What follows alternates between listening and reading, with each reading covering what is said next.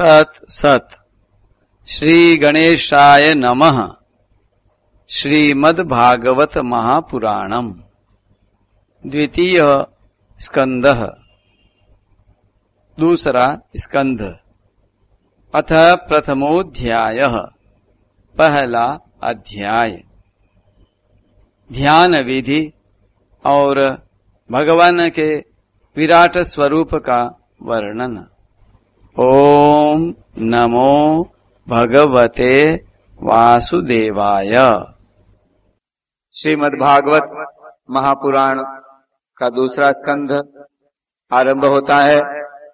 श्री सुखदेव जी ने कहा, परीक्षित, वरियानेशते प्रश्न, कुतो लोकहितम नृप आत्मवित् सम्मतः पुंसाम् श्रोतव्यादिषु यह परः। परीक्षित, तुम्हारा लोकहित के लिए किया हुआ यह प्रश्न बहुत ही उत्तम है। मनुष्यों के लिए जितनी भी बातें सुनने, स्मरण करने या कीर्तन करने की है, उन सब में यह श्रेष्ठ है। आत्मज्ञानी महापुरुष ऐसे प्रश्न का बड़ा आदर करते हैं। राजेंद्र, जो गृहस्थ, घर के काम धंधों में ही उलझे हुए हैं, अपने स्वरूप को नहीं जानते, उनके लिए हज़ारों बातें कहने, सुनने एवं सोचने करने की रहती हैं। उनकी सारी उम्र यूँ ही बीत जाती है। उनकी रात नींद या स्त्री प्रसंग में कटती है और दिन धन की हाय हाय या कुटुंबियों के भरण पोषण में समाप्त हो जाती है।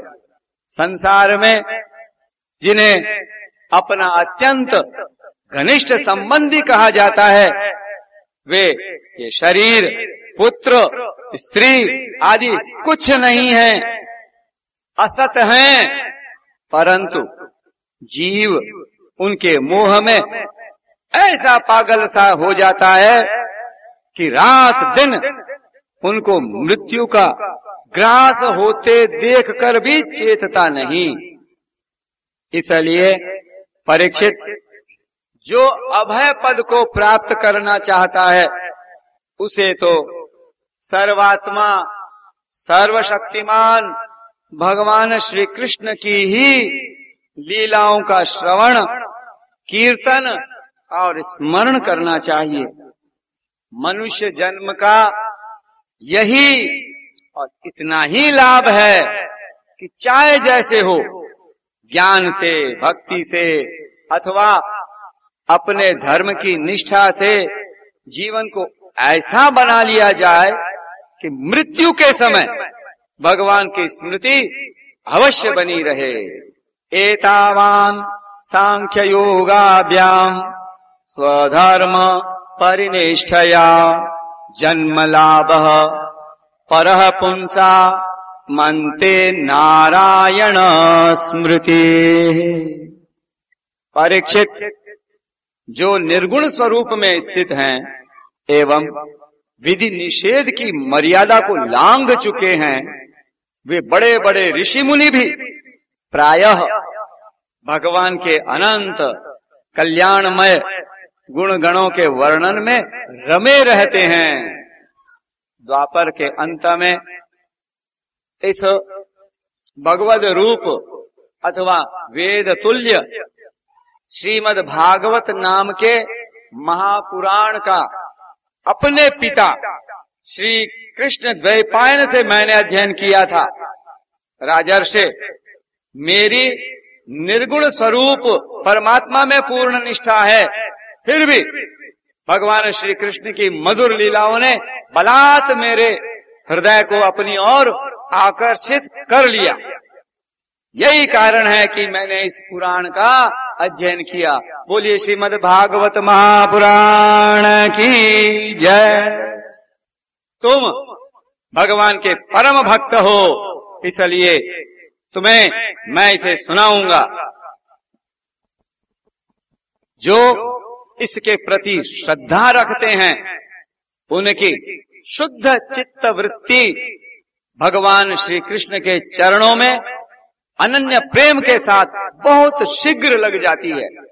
जो लोग लोक या परलोक की किसी भी वस्तु की इच्छा रखते हैं या इसके विपरीत संसार में दुख का अनुभव करके जो उससे विरक्त हो गए हैं और निर्भय मोक्ष पद को प्राप्त करना चाहते हैं, उन साधकों के लिए तथा योग संपन्न सिद्ध ज्ञानियों के लिए भी समस्त शास्त्रों का यही निर्णय है कि वे भगवान के नामों का प्रेम से संकीर्तन करें। अपने कल्याण साधन की ओर से असावधान रहने वाले पुरुष की वर्षों लंबी आयु भी अनजान में ही व्यर्थ बीत जाती है। उससे क्या लाभ? सावधानी से ज्ञान पूर्वक बिताई हुई घड़ी, दो घड़ी भी श्रेष्ठ है, क्योंकि उसके द्वारा अपने कल्याण की चेष्टा तो की जा सकती है। राजर्षि खटवांग, अपनी आयु की समाप्ति का समय जानकर, दो घड़ी में ही सब कुछ त्याग कर, भगवान के अभय पद को प्राप्त हो गए। परीक्षित, अभी तो तुम्हारे जीवन की अवधि सात दिन की है।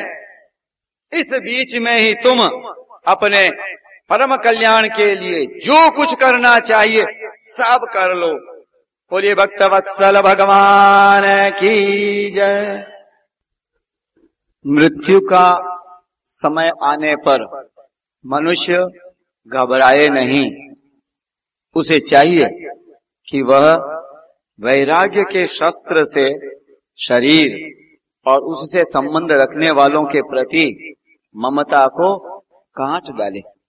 धैर्य के साथ घर से निकलकर पवित्र तीर्थ के जल में स्नान करे और पवित्र तथा एकांत स्थान में विधि पूर्वक आसन लगाकर बैठ जाए। तत्पश्चात परम पवित्र अ ओम इन तीन मात्राओं से युक्त प्रणव का मन ही मन जप करे।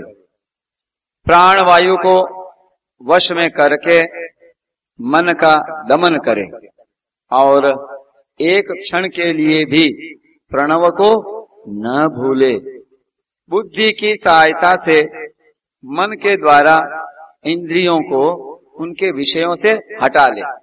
और कर्म की वासनाओं से चंचल हुए मन को विचार के द्वारा रोक कर भगवान के मंगलमय रूप में लगाए।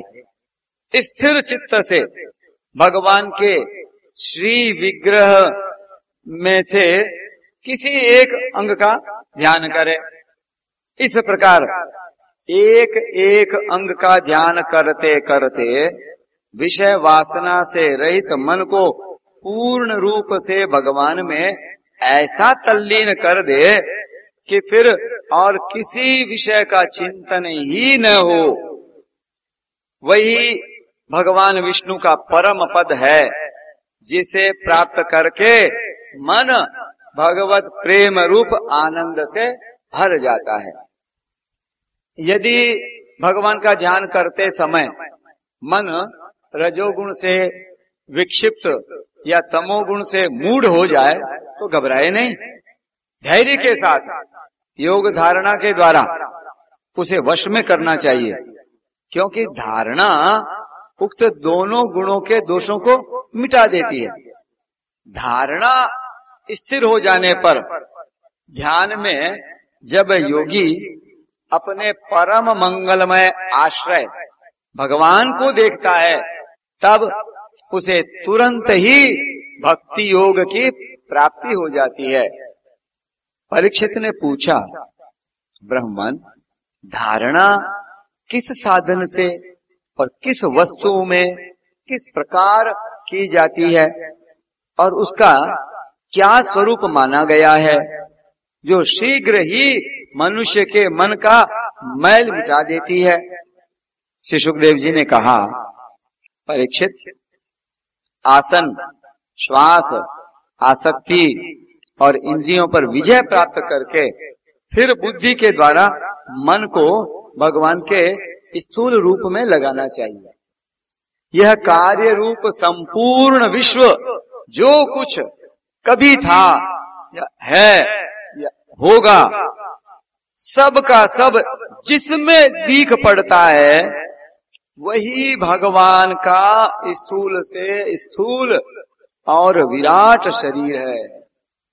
जल, अग्नि, वायु, आकाश, अहंकार, महतत्व और प्रकृति, इन सात आवरणों से घिरे हुए इस ब्रह्मांड शरीर में जो विराट पुरुष भगवान हैं, वे ही धारणा के आश्रय हैं। उन्हीं की धारणा की जाती है तत्वज्ञ पुरुष, उनका इस प्रकार वर्णन करते हैं। पाताल, विराट पुरुष के तलवे हैं। उनकी एडियाँ और पंजे रसातल हैं। दोनों गुल्फ, एडी के ऊपर की गांठें महातल हैं। उनके पैर के पिंडे तलातल हैं। विश्वमूर्ति भगवान के दोनों घुटने सुतल हैं। जांगे वितल और अतल हैं। पेडु भूतल है और परीक्षित उनके नाभि रूप सरोवर को ही आकाश कहते हैं। आदि पुरुष परमात्मा की छाती को स्वर्गलोक, गले को महरलोक, मुख को जनलोक, ललाट को तपोलोक कहते हैं। उन सहस्र सिर वाले भगवान का मस्तक समूह ही सत्यलोक है। इंद्र आदि देवता उनकी भुजाएँ हैं। ये दिशाएँ कान और शब्द श्रवणेन्द्रिय है। दोनों अश्विनी कुमार, उनकी नासिका के छिद्र हैं। गंध घ्राणेन्द्रिय है और धधकती हुई आग उनका मुख है। भगवान विष्णु के नेत्र अंतरिक्ष है। उनमें देखने की शक्ति सूर्य है। दोनों पलकें रात और दिन हैं। उनका भ्रूविलास ब्रह्मलोक है। तालु जल है और जीवा रस। वेदों को भगवान का ब्रह्म रंध्र कहते हैं और यम को दाढ़े। सब प्रकार के स्नेह, दांत हैं और उनकी जगन मोहिनी माया को ही उनकी मुस्कान कहते हैं। यह अनंत सृष्टि, उसी माया का कटाक्ष विक्षेप है। लज्जा ऊपर का होठ और लोभ नीचे का होठ। धर्म स्तन और अधर्म पीठ है। प्रजापति उनके मूत्रेंद्रिय हैं मित्रा वरुण अंड कोश है, समुद्र कोख है। और बड़े बड़े पर्वत, उनकी हड्डियाँ हैं। राजन विश्व मूर्ति विराट पुरुष की नाड़ियाँ नदियाँ हैं। वृक्ष रोम है। परम प्रबल वायु श्वास है। काल उनकी चाल है। और गुणों का चक्कर चलाते रहना ही उनका कर्म है। परीक्षित बादलों को उनके केश मानते हैं। संध्या उन अनंत का वस्त्र है। महात्माओं ने अव्यक्त मूल प्रकृति को ही उनका हृदय बतलाया है और सब विकारों का खजाना उनका मन चंद्रमा कहा गया है। महत्व को सर्वात्मा भगवान का चित्त कहते हैं और रुद्र उनके अहंकार कहे गए हैं। घोड़े, खच्चर ऊँट और हाथी उनके नख हैं। वन में रहने वाले सारे मृग और पशु उनके कटि प्रदेश में स्थित हैं। तरह तरह के पक्षी उनके अद्भुत रचना कौशल हैं। स्वयंभुव मनु उनकी बुद्धि है और मनु की संतान मनुष्य उनके निवास स्थान है। गंधर्व, विद्याधर, चारण और अप्सराएँ, उनके षडज आदि स्वरों की स्मृति हैं। दैत्य उनके वीर्य हैं। ब्राह्मण, मुख, क्षत्रिय भुजाएँ, वैश्य जंगाएँ और शूद्र, उन विराट पुरुष के चरण हैं। विविध देवताओं के नाम से जो बड़े बड़े द्रव्यमय यज्ञ किए जाते हैं, वे उनके कर्म हैं। परीक्षित विराट भगवान के स्थूल शरीर का यही स्वरूप है तो मैंने तुम्हें सुना दिया। बोलिए, विराट भगवान की जय। इसी में मुमुक्षु पुरुष बुद्धि के द्वारा मन को स्थिर करते हैं। क्योंकि इससे भिन्न और कोई वस्तु नहीं है। जैसे स्वप्न देखने वाला स्वप्न अवस्था में अपने आप को ही विविध पदार्थों के रूप में देखता है, वैसे ही सबकी बुद्धि वृत्तियों के द्वारा सब कुछ अनुभव करने वाला सर्वांतरयामी परमात्मा भी एक ही है। उन सत्य स्वरूप, आनंद निधि, भगवान का ही भजन करना चाहिए।